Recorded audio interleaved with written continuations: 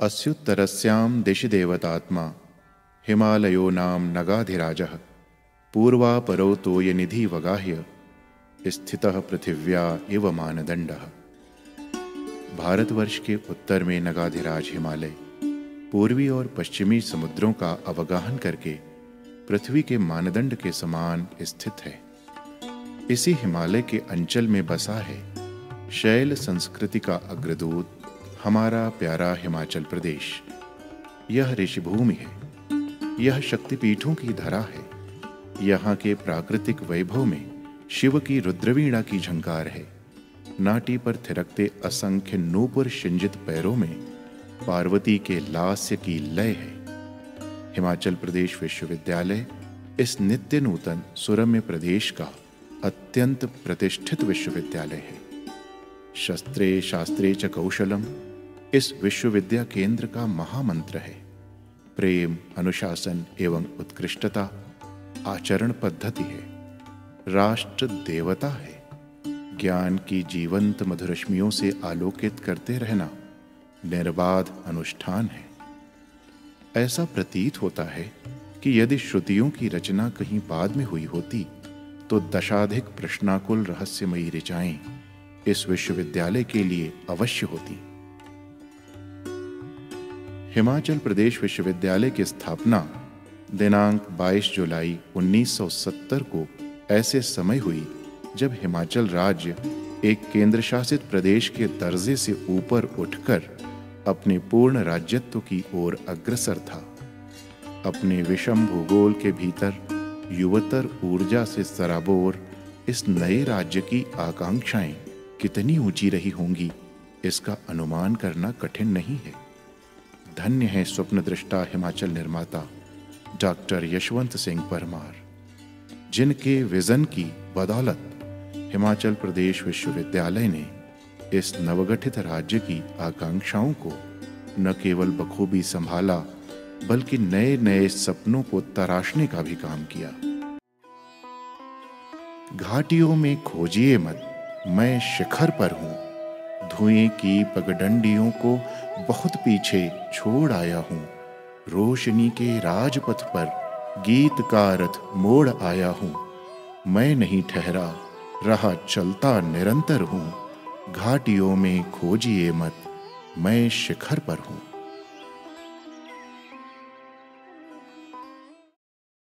आज हम राष्ट्रीय मूल्यांकन एवं प्रत्यायन परिषद, यानी नैक द्वारा ए ग्रेड प्रत्यायित विश्वविद्यालय हैं।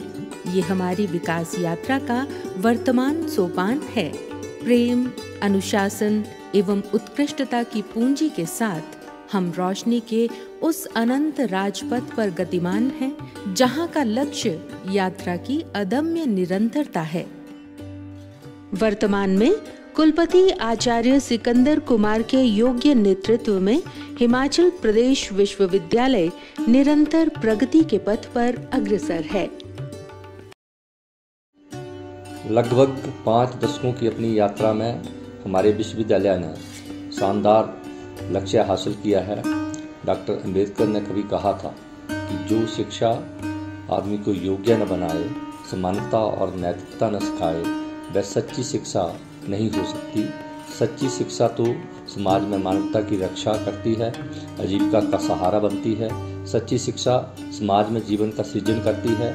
मुझे ये बताते हुए खुशी हो रही है कि इन मानकों पर लगातार प्रगति करते हुए हमारा विश्वविद्यालय क्षेत्र जाति, संप्रदाय, लिंग, भाषा, राष्ट्रीयता इत्यादि के भेदभाव के बिना शिक्षा प्रदान करने का काम कर रहा है। विश्वविद्यालय की शून्य से शिखर तक की इस यात्रा का समारंभ शहर शिमला में पंजाब विश्वविद्यालय के राणा पदम चंद्र सनातन धर्म भार्गव कॉलेज के प्रांगण में स्थित इवनिंग कॉलेज और विक्ट्री टनल के समीप डिंगल स्टेट एवं माल रोड के गांधी भवन व मेंस स्थित उस समय के क्षेत्रीय केंद्र से हुआ।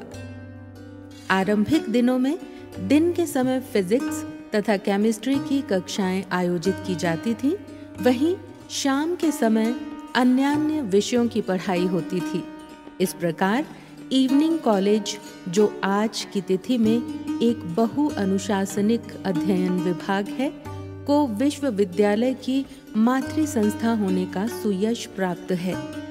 अपने शुरुआती दिनों में विश्वविद्यालय के संस्कृत, हिंदी, अंग्रेज़ी, राजनीति विज्ञान, इतिहास, अर्थशास्त्र, कृषि, गणित, वाणिज्य, व्यवसाय प्रबंधन, संगीत, विदेशी भाषाएँ, विधि एवं शिक्षा जैसे विभिन्न विभाग, गांधी भवन मेंस और डिंगल स्टेट के अतिरिक्त एवालॉज चौड़ा मैदान, स्नातकोत्तर केंद्र Summer Hill, agro centre Balugunj की छोटी छोटी इमारतों में प्रारंभ हुए।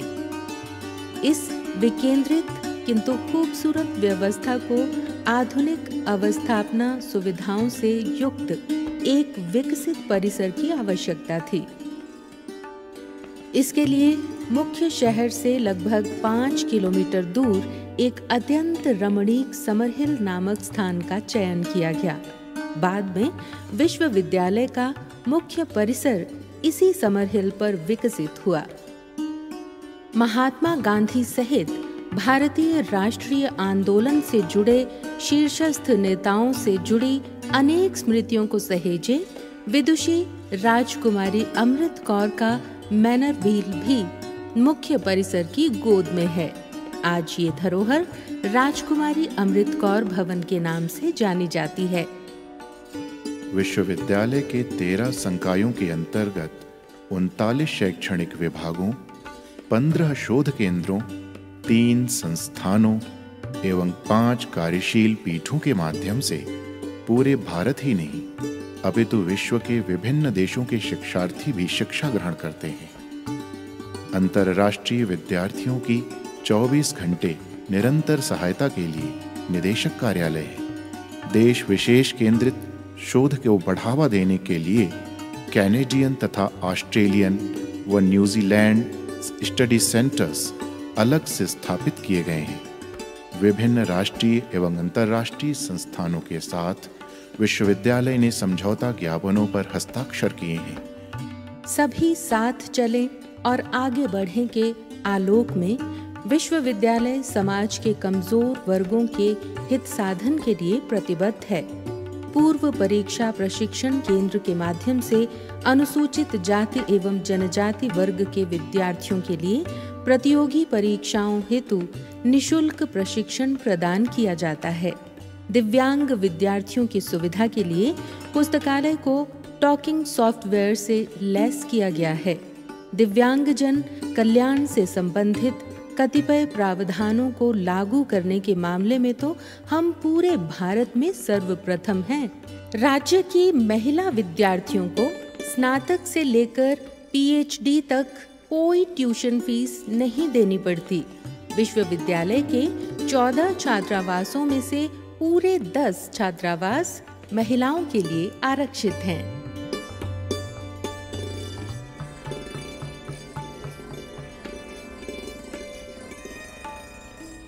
हमारी राष्ट्रीय सांस्कृतिक विरासत के संरक्षण के लिए विश्वविद्यालय में जिन तेरह पीठों की स्थापना की गई है, उनमें डॉक्टर भीमराव अंबेडकर पीठ, श्री दीनदयाल उपाध्याय पीठ, स्वामी दयानंद सरस्वती पीठ, गुरु नानक देव पीठ, डॉक्टर श्यामा प्रसाद मुखर्जी पीठ, स्वामी विवेकानंद पीठ, डॉक्टर केशव बलिराम हेटगेवार पीठ राजीव गांधी पंचायती राज अध्ययन पीठ, बाबू जगजीवन राम सामाजिक सर्वेक्षण अध्ययन पीठ, डॉक्टर यशवंत सिंह परमार पीठ, मोहनदास करमचंद गांधी पीठ, नेताजी सुभाष चंद्र बोस पीठ तथा संस्कृत शोध केंद्र निर्मंड शामिल हैं। अधिष्ठाता अध्ययन का कार्यालय छात्रों के हित में समर्पित रहता है। संकाय सदस्यों के चयन एवं नियुक्ति के सर्वश्रेष्ठ राष्ट्रीय मानकों के लागू होने से हमारे यहाँ देश के विभिन्न विश्वविद्यालयों से शिक्षा प्राप्त उत्कृष्ट अध्यापक हैं। उत्तम शिक्षकों के मार्गदर्शन से छात्रों ने देश विदेश में अपनी अलग पहचान बनाई है। हर वर्ष लगभग 20 प्रतिशत छात्र यूजीसी, जेआरएफ, नेट सेट आदि की परीक्षाएँ उत्तीर्ण करते हैं, जिनमें छात्राएँ अधिक संख्या में हैं। छात्रों को शोध पत्र प्रोजेक्ट्स पुस्तक प्रकाशन आदि में विश्वविद्यालय हमेशा सहयोग प्रदान करता रहा है। अधिष्ठाता छात्र कल्याण, छात्रों के उन्नत भविष्य के लिए placement cell on campus job interview आदि की व्यवस्था रहती है। योग्य छात्रों को स्कॉलरशिप प्रदान की जाती है। खेल, शिक्षा सांस्कृतिक कार्यक्रमों के माध्यम से छात्रों के बेहतरीन विकास का पूर्ण ध्यान रखा जाता है। हिमाचल प्रदेश विश्वविद्यालय के विभिन्न शैक्षणिक विभागों में 8000 छात्र छात्राएँ अध्ययनरत हैं। इसके अतिरिक्त विश्वविद्यालय ने प्रदेश के विभिन्न भागों में अवस्थित 300 महाविद्यालयों को संबद्धता प्रदान की है, जिनमें प्रायः तीन लाख विद्यार्थी ज्ञानार्जन कर रहे हैं। आज हम जिस सोपान पर पहुँचे हैं, इसमें राजनीतिक नेतृत्व की सदिच्छाओं सहित सभी कुलपति महानुभावों, विद्वान शिक्षक गण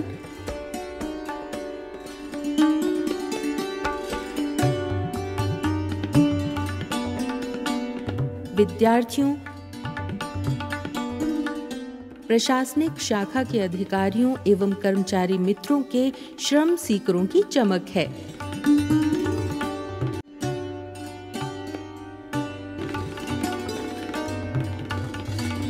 और इसी शक्ति के बलबूते हम विश्वविद्यालय परिसर का विस्तार, नए विभागों का सृजन, सूचना प्रौद्योगिकी आधारित व्यवस्थाओं का उन्नतीकरण खेल तथा सॉफ्ट स्किल विकास संबंधी अवस्थापना सुविधाओं का स्तरोन्नयन, वैश्विक प्रतिस्पर्धा के मद्देनजर अंतर्राष्ट्रीय प्रतिष्ठानों से नए अनुबंधों, अधिकाधिक पेटेंट्स प्राप्त करने सहित विभिन्न मोर्चों पर युद्ध स्तर पर कार्य कर रहे हैं। आज मैं स्मरण कर रहा हूँ स्थापना के समय को जब अंतर्राष्ट्रीय ख्याति प्राप्त शिक्षण संस्थानों से उच्च शिक्षा अर्जित कर चुके लोग विश्वविद्यालय के एक आह्वान पर अध्यापन सेवा के लिए सहस उपलब्ध हुए थे। इन नवनियुक्त विशेषज्ञ संकाय सदस्यों में से कुछ एक तो ऑक्सफोर्ड एवं विस्कंसिन जैसे विश्वविद्यालयों में सेवारत थे।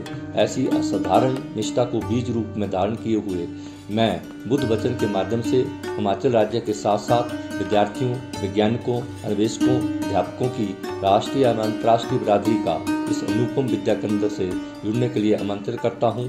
तुम केवल मेरा आमंत्रण स्वीकार करो। मानना या न मानना तो बात की बात है। इस भवन में दिया जला है। तुम भीतर आओ और यह भवन तुम्हारा ही है। यह तुम्हारे ही अंतर्मन का भवन है। मंत्र मुक्त कर देने वाली प्राकृतिक सुंदरता के बीच बसा हमारा विश्वविद्यालय ज्ञान के सृजन का केंद्र है। भारतीय उच्च अध्ययन संस्थान, ये मानविकी तथा समाज विज्ञान को समर्पित भारत का अनूठा संस्थान है।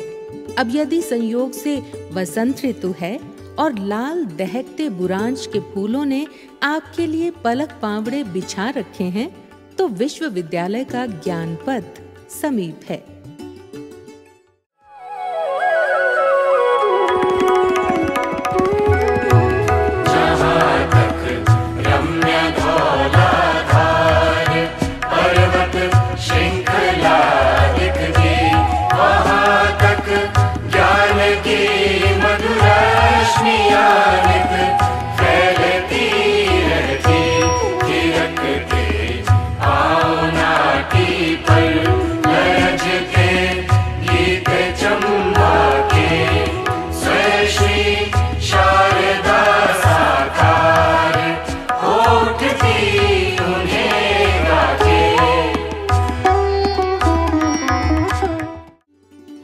विश्वविद्यालय के कुलगीत की पंक्तियाँ हैं।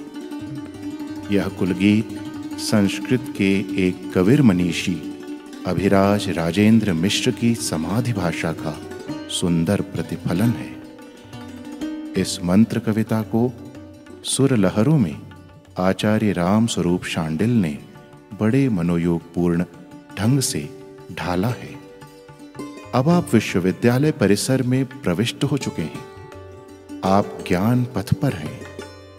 यह उजाले से उजाले की अंतर यात्रा है। ठहरिए, आपके दाहिने हाथ एक शानदार भित्ति चित्र है।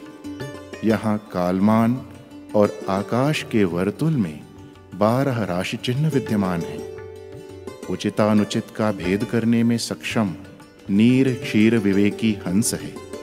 यंत्र हैं और यंत्रों के मध्य मंगल कलश है। विश्वविद्यालय के अन्य विभागों के अपने पुस्तकालय भी हैं, लेकिन केंद्रीय पुस्तकालय की बात ही निराली है। इसका छह मंजिला जवाहर भवन भारत के पहले उपग्रह आर्यभट्ट का अनूठा प्रतिदर्श है। एक हज़ार पाठक क्षमता वाली इस सर्व सुविधा युक्त लाइब्रेरी में लगभग अढ़ाई लाख ग्रंथ तथा जर्नल्स सदैव उपलब्ध रहते हैं। विश्वविद्यालय के आयुर्विज्ञान, आयुर्वेद व दंत चिकित्सा संकाय, व्यवसाय प्रबंधन संकाय, शिक्षा संकाय, भाषा संकाय, विधि संकाय, जीव विज्ञान संकाय, दृश्य एवं श्रव्य कला संकाय, भौतिक विज्ञान संकाय, समाज विज्ञान संकाय इंजीनियरिंग एवं प्रौद्योगिकी संकाय पर्यावरण विकास एवं सतत अध्ययन, महिला अध्ययन, जनजातीय अध्ययन, जनसंख्या शोध, कृषि अर्थ शोध केंद्र,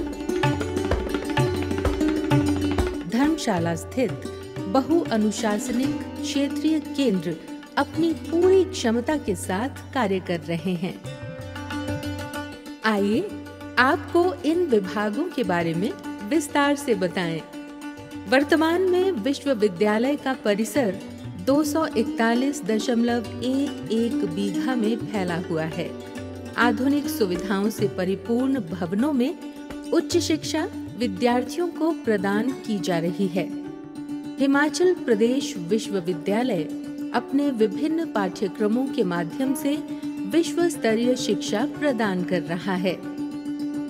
वाणिज्य एवं प्रबंधन संकाय के अंतर्गत तीन विभाग आते हैं, जिनमें वाणिज्य, M B M T A शामिल है।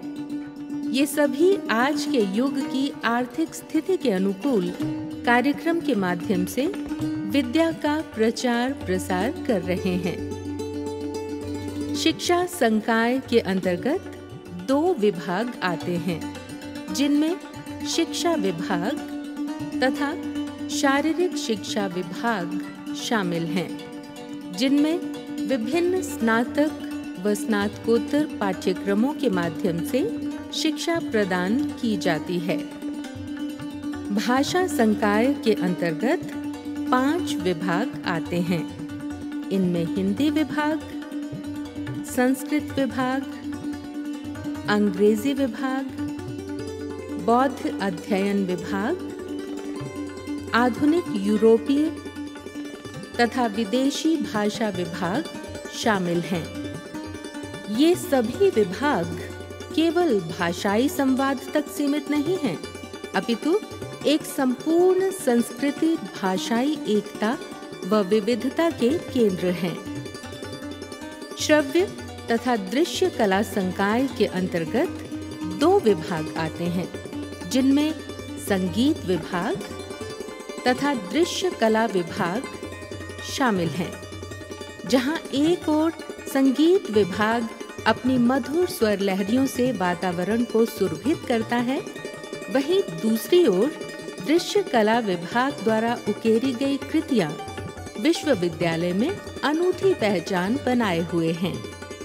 समाज विज्ञान संकाय विश्वविद्यालय में सबसे बड़ा संकाय है।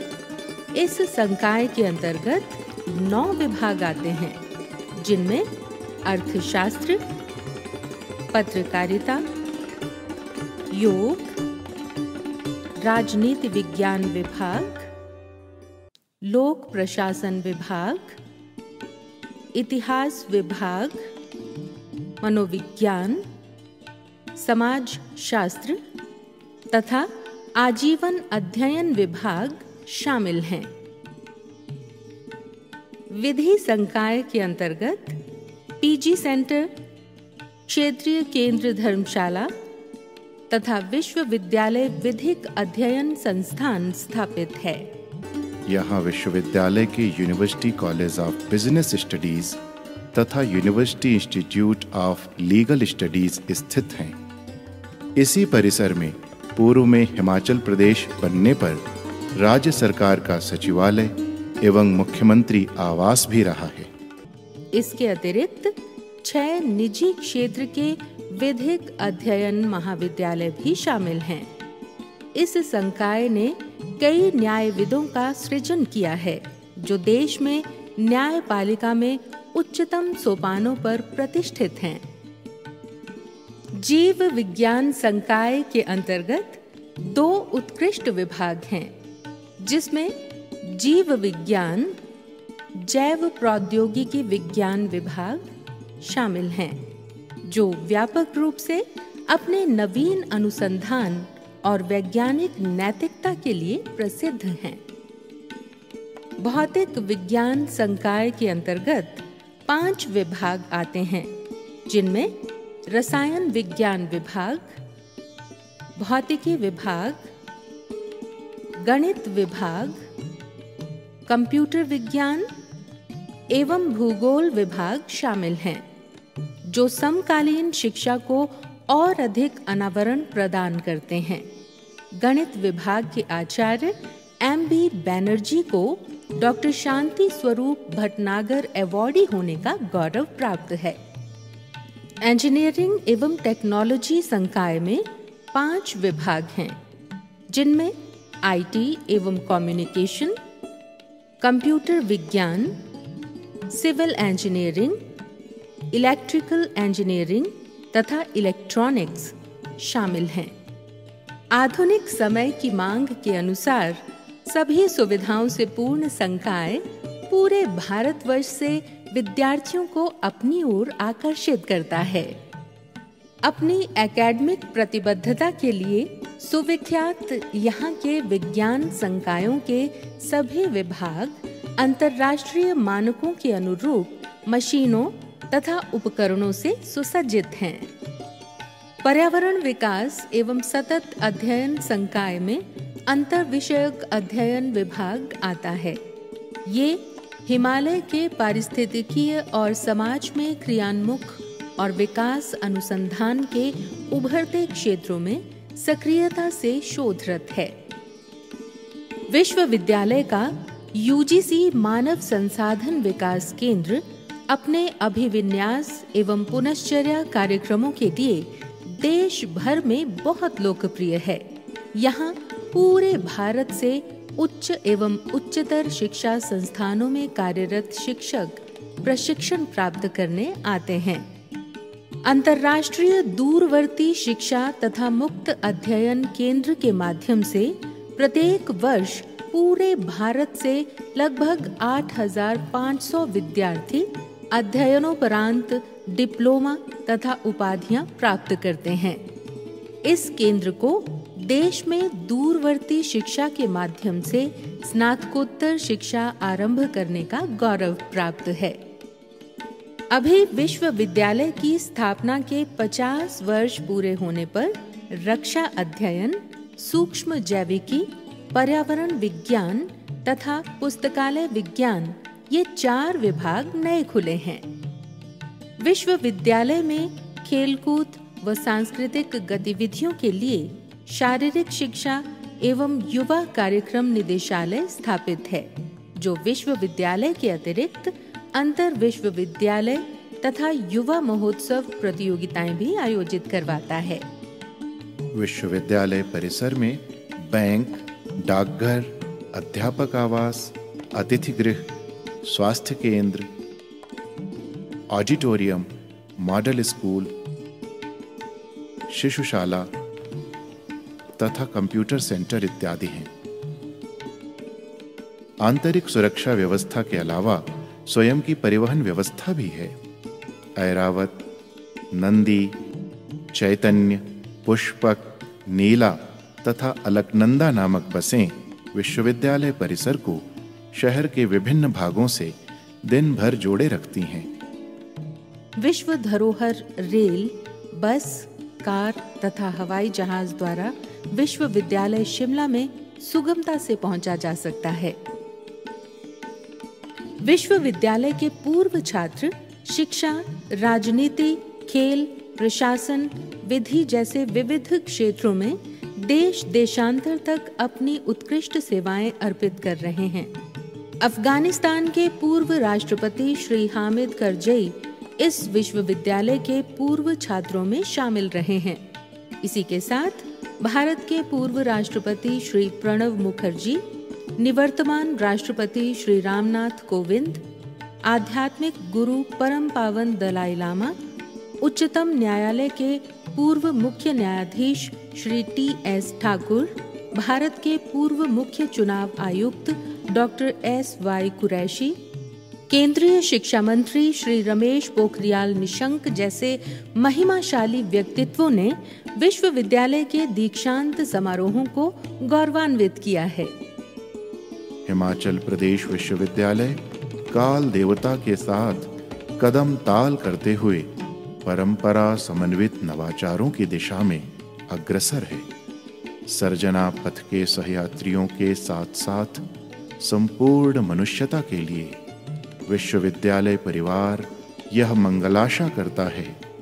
नए राग को नूतन स्वर दो, भाषा को नूतन अक्षर दो।